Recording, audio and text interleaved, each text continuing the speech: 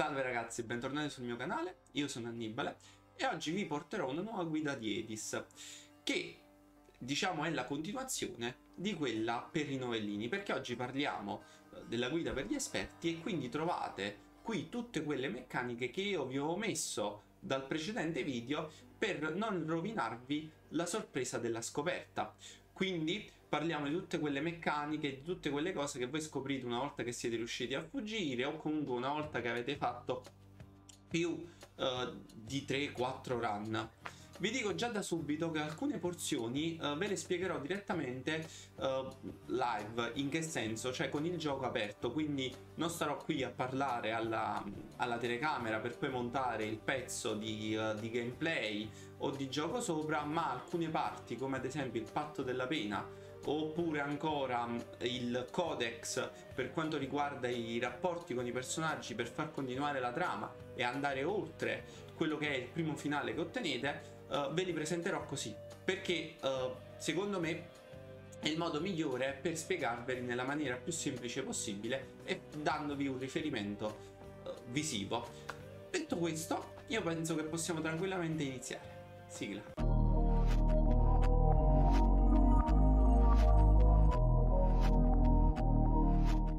Allora, riprendiamo da dove ci siamo interrotti dall'altra volta, e cioè dal codice.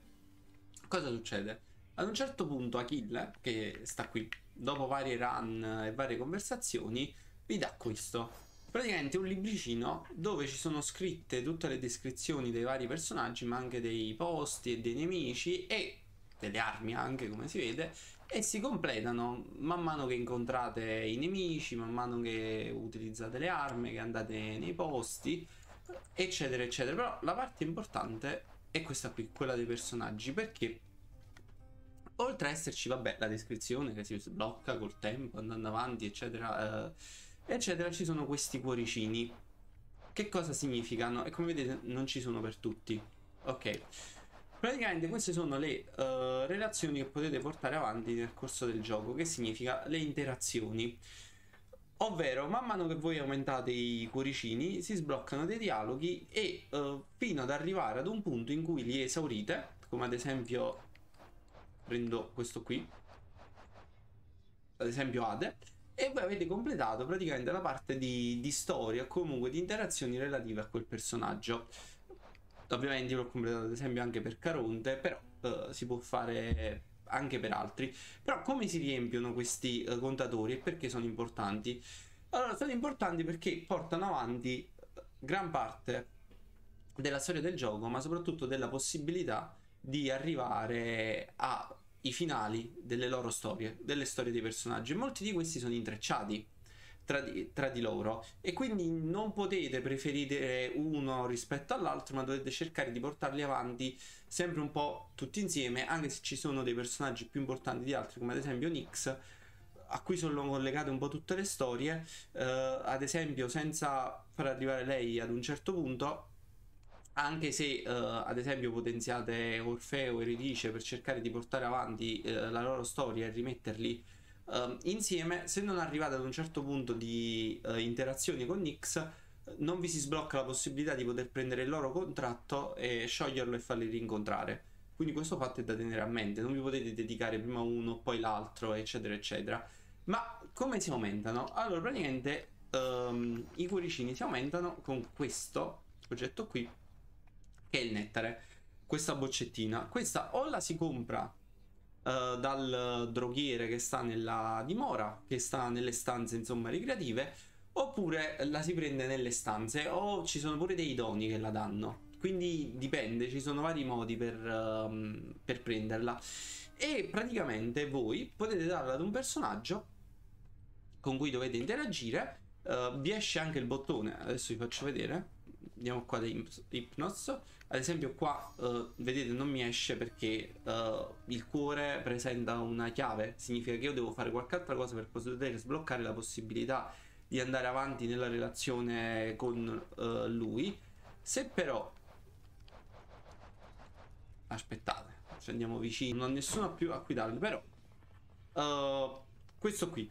Ad esempio qui vedete vi esce il il comando sotto con sotto scritto offri. Qui offri un altro oggetto perché ad esempio con Cerpero sono andato già più avanti e da un certo punto in poi non vogliono più uh, il nettare, ma vi serve questo qui, l'ambrosia che è un altro oggetto che si guadagna in realtà negli stessi modi del solo che ve lo rilasciano i boss invece che trovarlo nelle stanze così uh, a caso. E praticamente offrenderglielo voi aumentate il, um, il cuoricino. La prima volta che date il nettare a un personaggio si sblocca un oggetto, cioè ognuno di loro vi regala un oggetto che vi farò vedere dopo perché vengono messi in una cassetta che sta vicino alle armi che usate per eh, scappare.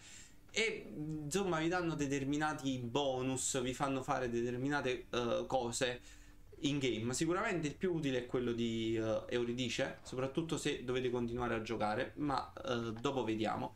E questo diciamo è la parte relativa alle relazioni, come ovviamente li potete dare ai residenti della dimora di Ade, cioè tutti i personaggi che compaiono qui all'interno. Voi però li potete dare pure alle divinità dell'Olimpo e il procedimento è lo stesso come vedete è che qui si bloccano quindi dovete fare altre cose per sbloccarli ora a volte dovete fare un'azione specifica altre volte invece eh, dovete portare avanti eh, prima le interazioni con altri personaggi e poi vi si sblocca quindi quando vedete quella mh, mm, il cuore bloccato può succedere per varie situazioni o perché non avete le relazioni altre con altri personaggi oppure perché eh, dovete fare un'azione in particolare. Tra altre cose, come vi ho fatto vedere nello scorso video, questo, il codice, è utile anche per questo, perché voi andando sulle varie divinità, da un certo punto in poi potete vedere pure i doni che vi rilasciano. Eh, e tra altre cose vi dice anche, se vedete sulla destra, quello che vi serve per avere questo dono, eccetera, eccetera. Quindi è molto utile se state facendo delle corse e volete fare delle mm, insomma delle partite con delle abilità un po' più strutturate quindi non volete prendere solo roba a casa ma uh, rendervi uh, anche conto di quello che succede. Tra altre cose ce ne sono alcune che hanno dei requisiti particolari. Ad esempio questa qui che vi sto facendo vedere vi richiede un'arma particolare per potervi, per potervi essere dato. Quindi se non avete quell'arma non capiterà mai tra la pool dei doni che potete avere. E diciamo questo è un po' tutto quello che riguarda il codice. Il consiglio generale è di essere bilanciati e con comunque all'inizio di concentrarsi molto su, uh, su Nix e uh, poi distribuirlo un po' tra le varie divinità. Comunque ricordatevi di cercare di andare per gradi e non concentrarvi solo su un singolo personaggio perché alla fin fine non vi serve perché vi si blocca semplicemente. Però non finisce qui perché alcuni personaggi in realtà non li trovate né nella, nella dimora né fanno parte del pool degli uh, dei perché da un certo punto in poi andando avanti nelle run sono sicuro che sarete incappati uh, in quel punto interrogativo fatto di roccia ce n'è uno per ogni livello quindi ognuno degli strati per cui voi fuggite cercando di uscire dall'Ade e questi nasconde un personaggio uh, speciale. Il personaggio speciale di quel livello è sempre quello. Troviamo nel Tartaro Sisifo, nella Sfodelo uh, Erudice e poi Patroclo nei Campi Elisi. E oh, questi sono dei personaggi unici, cioè che si trovano soltanto lì. E il loro emblema esce in maniera randomica, per cui ogni volta che uh, lo vedete andateci. E cercate di portare avanti le interazioni con, ehm, con loro Ognuno di loro poi vi darà, ovviamente quando datate il primo nettare vi darà uh, un oggetto particolare, di cui ho detto forse il più forte è quello di Euridice, però vi daranno anche, uh, semplicemente parlandoci, quindi ogni volta che entrate lì parlando, vi daranno dei bonus. Um, alcuni che sono pure molto potenti, ad esempio Sisifo vi dà vita, oscurità, soldi, uh, Euridice vi fa salire di rarità i doni, oppure ve li fa salire di livello, oppure vi aumenta le probabilità di doni di percentuali più alte. Uh, e Patroclo ad esempio vi recupera una possibilità di morire piuttosto che aumentarvi l'attacco, cioè sono varie le cose che fanno e vi danno sempre dei bonus. Per cui ogni volta che li incontrate andateci. Però ce n'è un altro molto particolare che è questo qui, che è Chaos, che uh, voi incontrerete sotto forma di uh, pozze uh, di colore viola che usciranno nei livelli random, cioè possono uscire in tutti gli strati del, dell'inferno mentre fuggite e praticamente per entrare all'interno di questa camera uh, voi dovete uh, pagare un tributo di sangue, cioè praticamente vi dovete, fare, vi dovete infliggere del, del male e perdete punti vita. Ed entrate in quest'altro livello dove c'è lui che vi dà dei bonus. Però sono dei bonus collegati a malus cioè Uh, ad esempio, vi può aumentare l'attacco del 120%, però per tre stanze ogni volta che fate l'attacco speciale perdete vita, quindi non lo potete utilizzare. Poi passate quelle quattro camere si attiva l'effetto che effettivamente vi fa aumentare l'attacco. Ovviamente anche loro hanno le loro storie come vedete, quindi cioè siete sempre pronti uh, ad avere nettare o comunque ambrosia poi per i livelli successivi da potergli dare perché comunque eh, escono randomicamente cioè non è garantito che per ogni run voi li incontrate quindi onde evitare perdite di tempo siete pronti Altro elemento di cui ho accennato alla fine del video precedente è l'appaltatore. Allora, da un certo punto in poi compare l'appaltatore.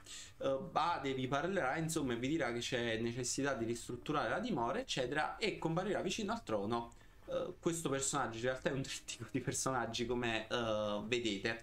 L'appaltatore non solo ha una funzione, diciamo, estetica, per cui cambiare magari i colori, i tendaggi eccetera eccetera ma poi ha pure dei risvolti pratici perché voi interagendoci potete spendere le gemme o i diamanti qui ovviamente io già ho comprato queste cose perciò c'è la B e non c'è un prezzo ma comunque voi uh, comprate questi oggetti che possono andare a modificarvi anche uh, le strutture dei livelli e possono andarvi a immettere degli oggetti all'interno della stanza che vi danno dei bonus. Ad esempio Uh, qui vedete uh, il primo proprio era una fontana curativa, cioè voi potete con le gemme comprare delle fontane curative che sono delle stanze a parte in cui voi randomicamente potete entrare nei vari livelli. Ce n'è una per uh, livello, questa ad esempio è quella del, del tartaro, tra parentesi c'è scritto, ma qui, ops, qui c'è quella della sfodelo.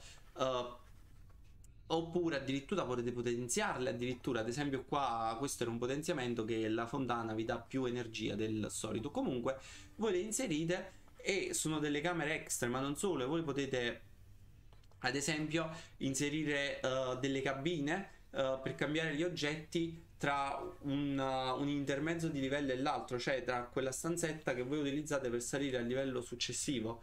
Oppure ancora uno degli oggetti più utili è questa della cambio cose a caso, vabbè.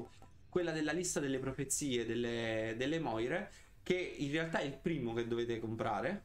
Il primo appena lo vedete compratelo, perché praticamente vi dà dei macro obiettivi da raggiungere che vi ricompensano con gemme, uh, il sangue dei titani, um, vi danno anche l'ambrosia, cioè insomma vi riempiono di oggetti così riuscite ad ottimizzare le, le varie run che voi, um, voi fate.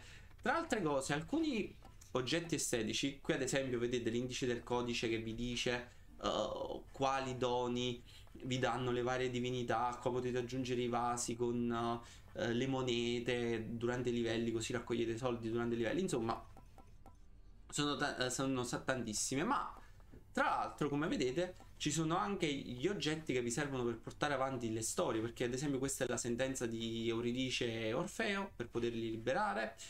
Uh, e ce ne sono altre che non vi faccio vedere perché comunque non vi voglio rovinare troppo la sorpresa. Però un altro oggetto che dovete uh, sviluppare subito è il, um, il calamao da pesca. O meglio, uh, sarebbe la canna da pesca, per così intenderci. Perché voi durante i livelli potete pure pescare, però ci arriviamo subito.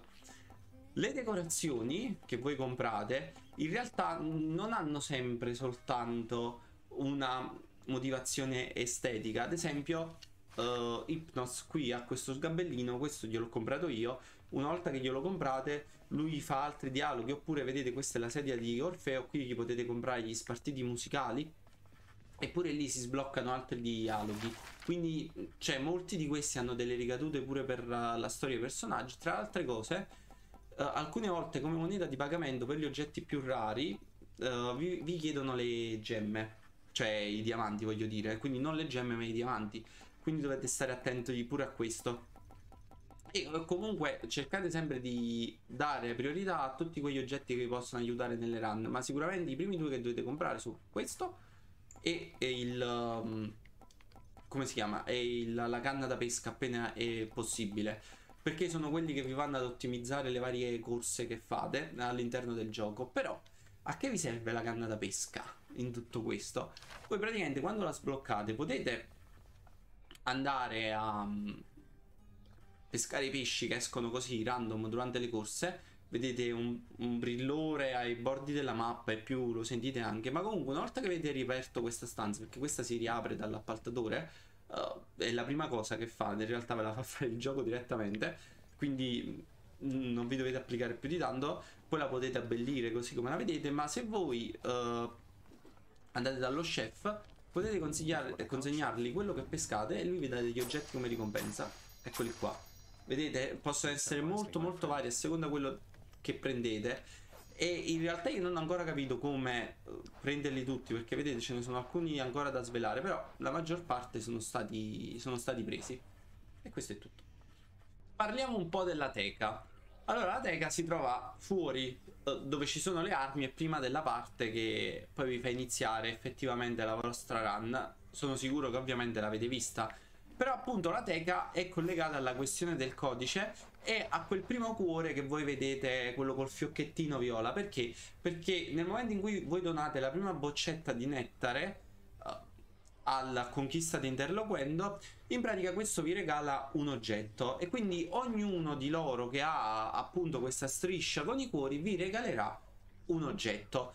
Tra altre cose, voi potete capire che è necessario dargli la boccetta quando vedete che a un certo punto c'è scritto scopri di più approfondendo il tuo rapporto con in questo caso c'è il cuore bloccato quindi non serve la boccetta una, serve altro quindi non basta solo parlarci però vi dà l'int necessario. Invece ci sono altri che vi, dicono, vi dicono semplicemente scopri di più parlando con. Vedete lì c'è bloccato, ma è bloccato perché devo parlarci ancora otto volte, non perché non gli ho dato abbastanza regali, tra virgolette. Comunque i doni poi li trovate qui.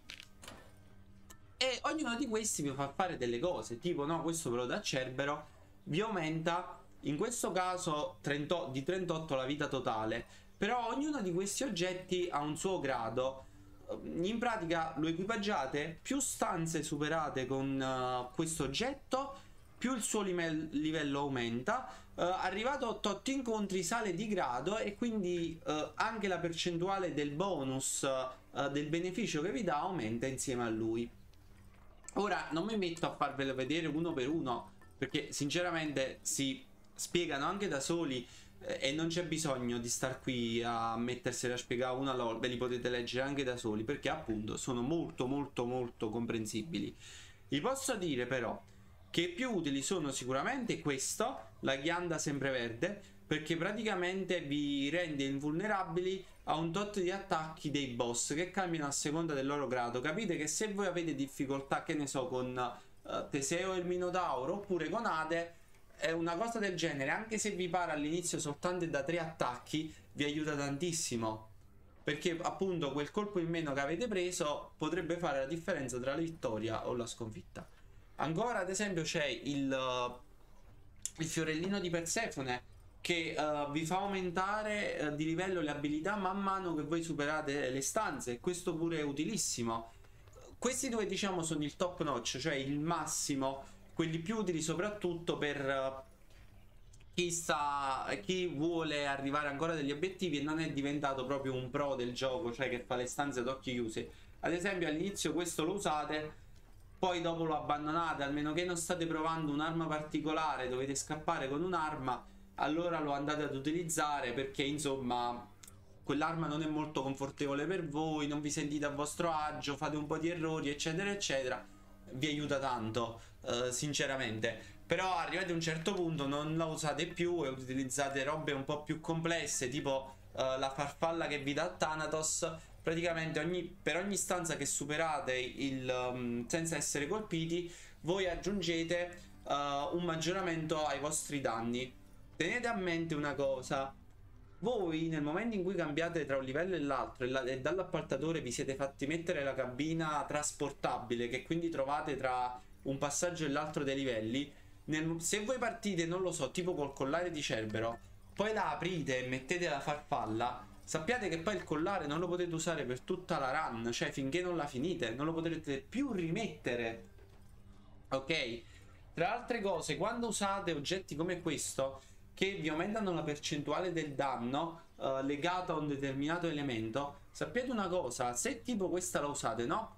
arrivate a più 20% di danno perché superate tante stanze senza farvi mai colpire, nel momento in cui voi la togliete, voi quel bonus l'avete perso, non vi resta. Quindi tenetela a mente questa cosa perché è importantissima. Molti, infatti, se vedete i commenti uh, sia su Reddit o su altre guide, uh, fanno l'errore di equipaggiarla, poi toglierla pensando che il danno resta.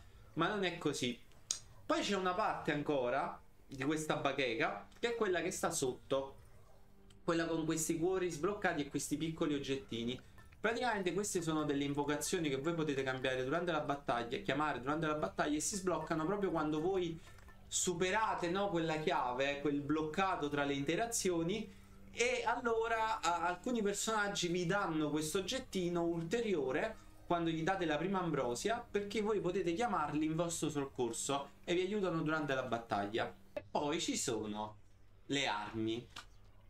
Come funzionano le armi? Ovvero, voi sapete già usarle, le avrete sicuramente usate e sbloccate, e sbloccate tutte, no? Con le, le chiavi.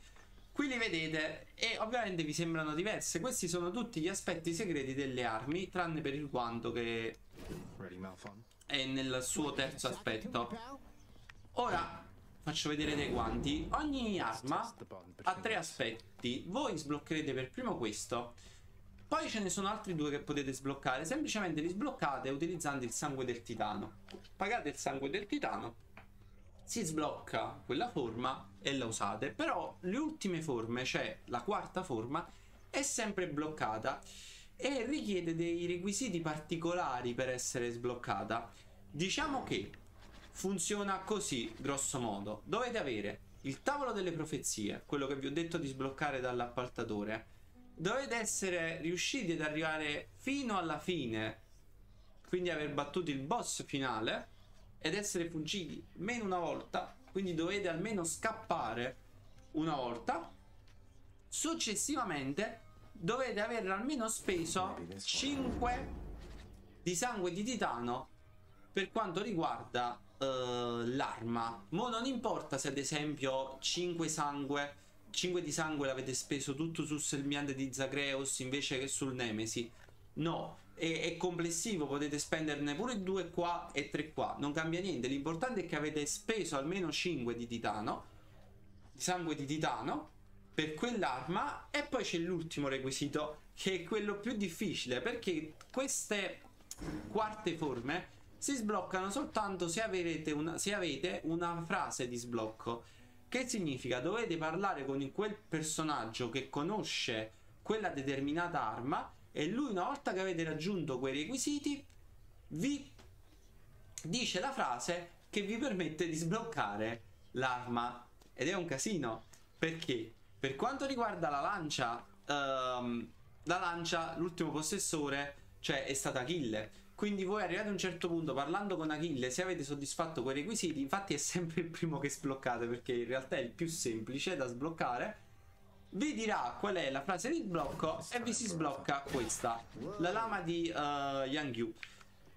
La cosa importante è che voi con questi aspetti celati riuscite a fuggire almeno una volta. La fuga non deve essere completa, cioè dovete arrivare almeno all'esterno e vi si sblocca un altro tratto sulla profezia, cioè sulla lista delle profezie, vi, vi danno degli oggetti, insomma. Però è importante che voi riusciate ad arrivare lì, cioè riusciate ad arrivare all'esterno, ok? Con quell'arma. Le altre poi si sbloccheranno di seguito, ad esempio per quanto riguarda lo scudo di Beowulf Chaos vi, dirà, uh, vi darà la frase. Per l'arco invece Artemide, ok? Per Malfon, per i guanti, uh, ve li darà il Minotauro, perché voi il Minotauro ad un certo punto lo incontrate nei campi elisi, così randomicamente all'interno delle stanze. Quando vedete la stanza con il teschio nel campo eliso, uh, se andate lì molto probabilmente esce il Minotauro. Lui, se voi vi parate davanti a lui con i guanti e avete risolto sempre i requisiti di prima, i requisiti di prima sono fondamentali, cioè li dovete risolvere ok? Vi dirà la frase di sblocco. Voi semplicemente, una volta che avete terminato la run, se non stavate usando uh, l'arma specifica, uh, però in realtà spesso e volentieri la state usando, però non è necessario, cioè potete stare usare pure la spada, parlate con Artemide e vi dà la frase di sblocco. Comunque, mettiamo che quello è il caso, voi venite qui, prendete l'arma, rinteragite, lui invece di aprire questa schermata che voi vedete, gli dice la frase, si sblocca il sembiante e poi dovete pagare 3 per poterlo usare.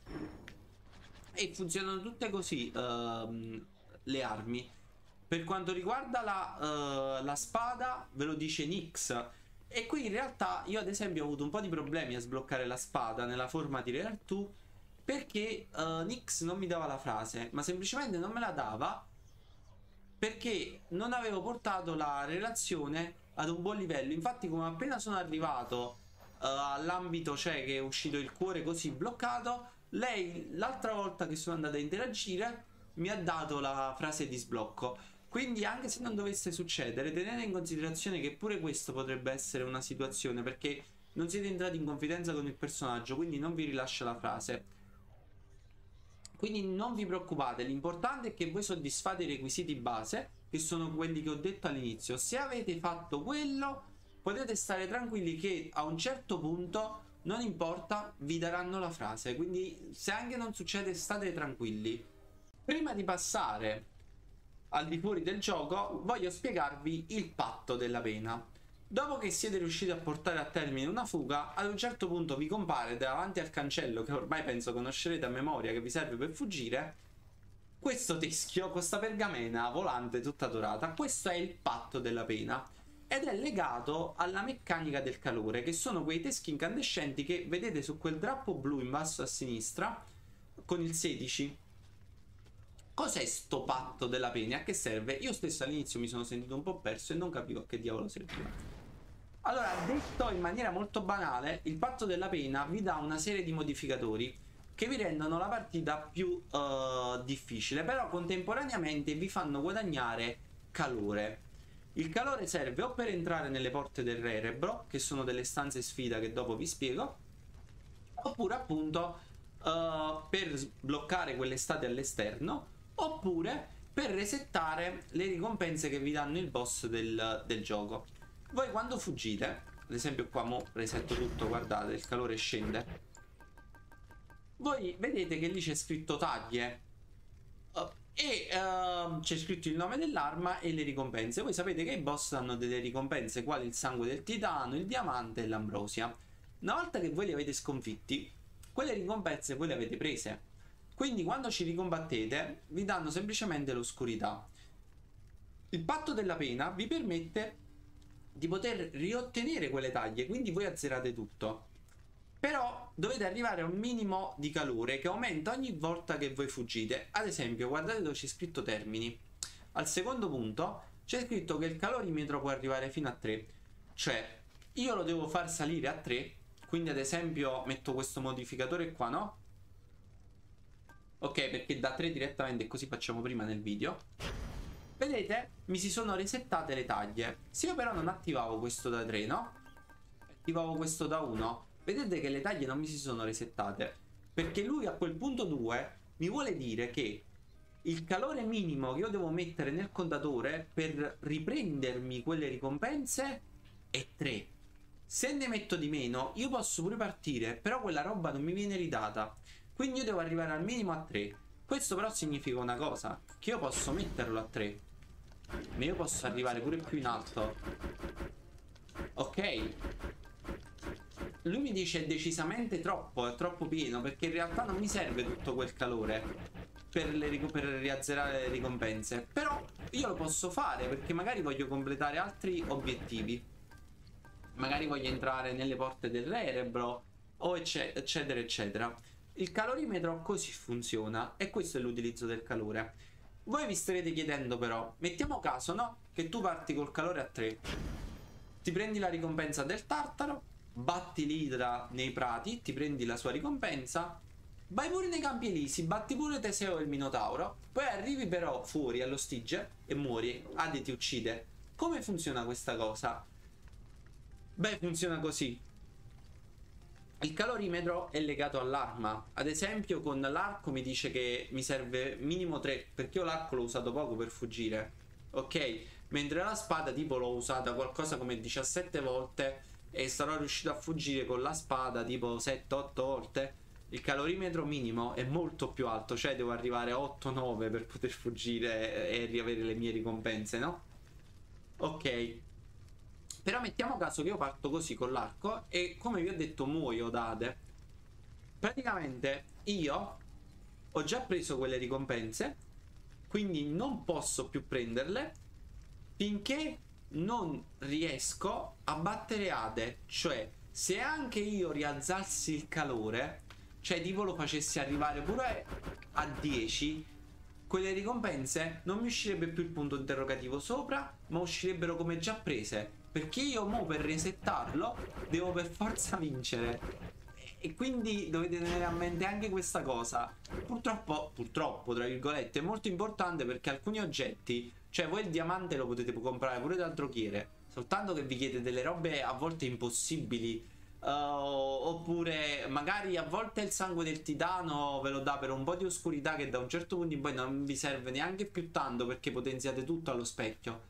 Eh, e poi però magari per, eh, per ottenerla eh, non avete quell'offerta che vi permette di usare i materiali che non vi servono ma vi inizia a picchiare il, il droghiere vi chiede no dammi 5 diamanti per una cosa di una bollina di sangue del, del titano. Capite che non è possibile. Quindi state molto attenti al patto della pena. Sembra macchinoso ma non lo è va, va soltanto capito. Io all'inizio non, ve lo dico, non ci ho capito niente.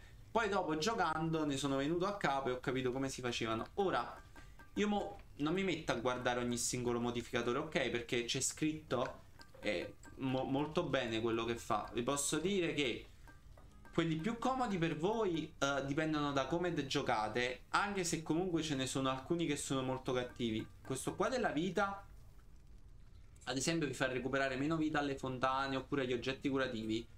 E questo a lungo andare vi può creare dei problemi come uh, estremi rimedi o modificatori per i boss.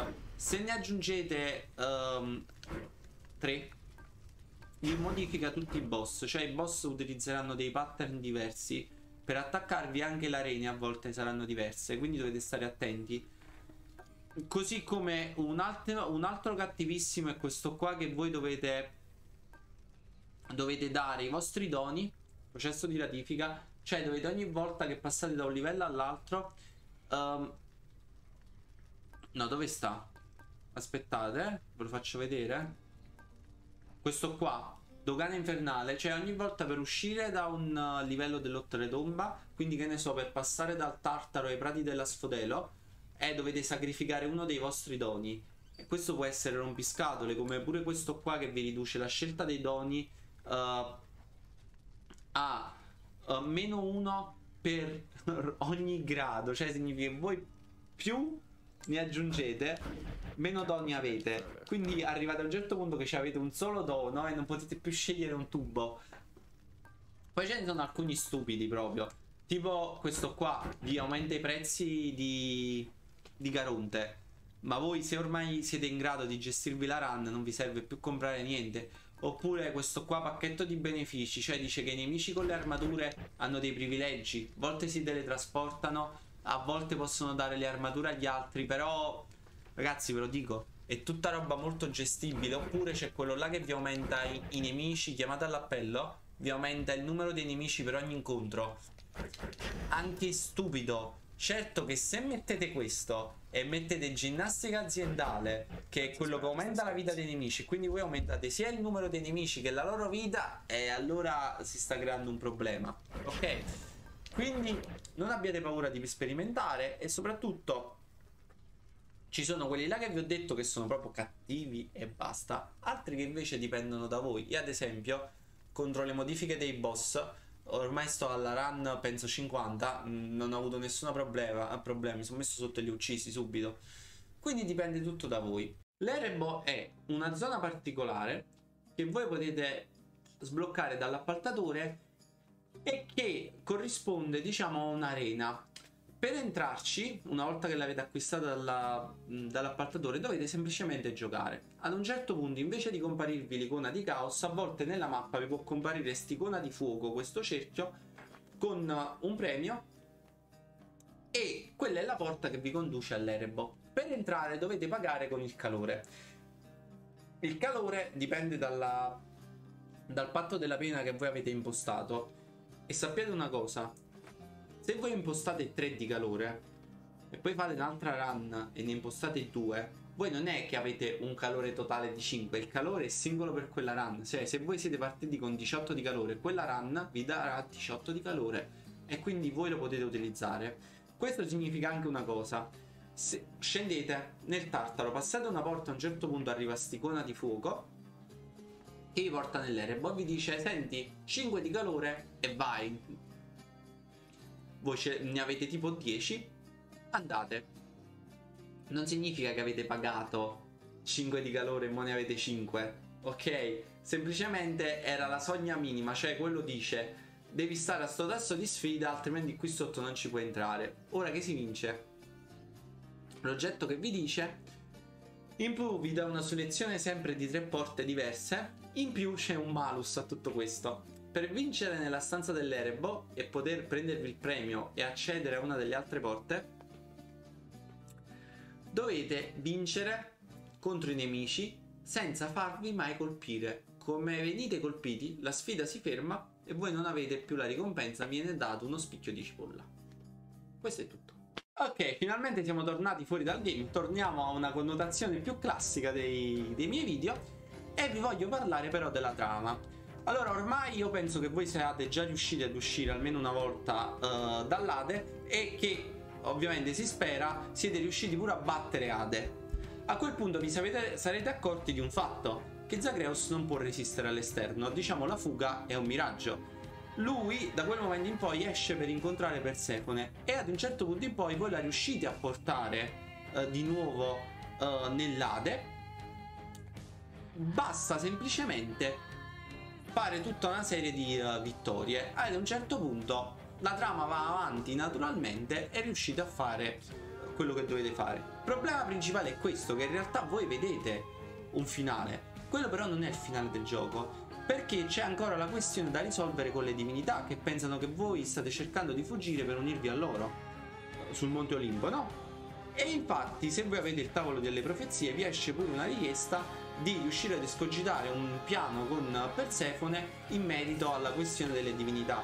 Quindi voi che cosa dovete fare? Dovete aumentare le relazioni con le divinità, con tutte le divinità e con Persefone per arrivare a questa soluzione finale. Il problema vero e proprio è che quindi voi gli dovete dare il nettare, ma non sempre vi si palesano le divinità che vi servono. Certo, gli oggettini che loro vi regalano la prima volta che voi gli date il nettare vi aiutano a far sì che esca quella divinità che voi cercate, ma comunque ne potete utilizzare al massimo in una run 3, perché sono 3 le volte in cui potete cambiare l'oggettino. Uh, anzi, fa uh, in realtà 4 se ci vogliamo contare, pure quella iniziale, cioè la partenza, ok?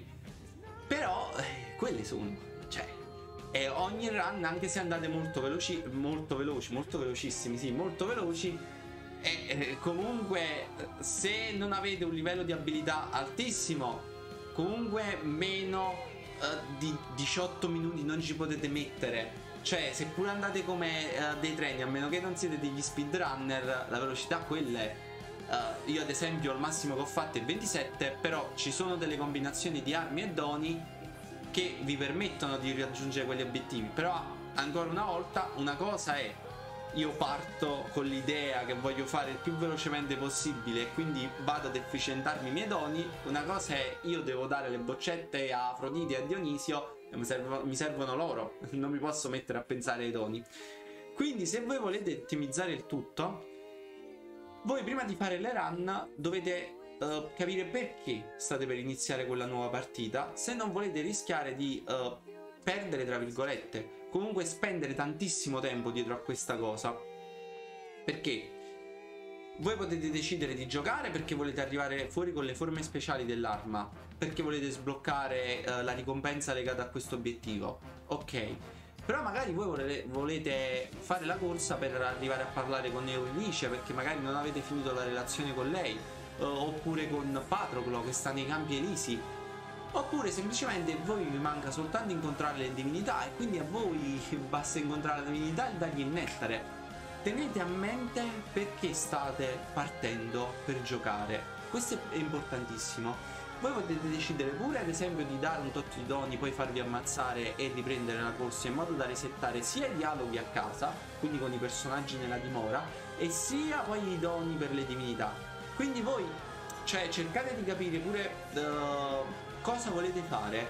È importante, cioè datevi degli obiettivi in base a quello che... Uh, è la vostra relazione con i personaggi e dove la volete portare.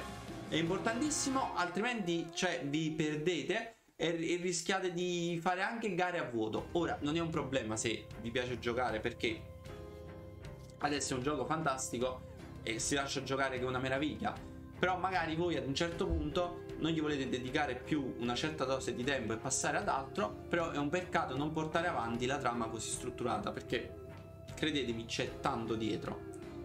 E insomma, questo conclude un po' quella che è la guida per gli esperti. Io vi ringrazio per avermi seguito fin qui. Spero che i consigli vi siano stati d'aiuto. Per qualsiasi domanda potete scrivere nei commenti oppure eh, sui miei social, insomma, dove volete. Noi ci vediamo alla prossima. Ciao!